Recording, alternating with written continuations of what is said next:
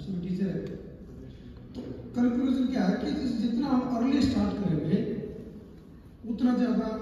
अच्छा हमारे लिए रहेगा। तो बूंद बूंद से गढ़े बढ़ने वाली बात तो स्टार्ट अर्ली जितना जल्दी हम स्टार्ट करेंगे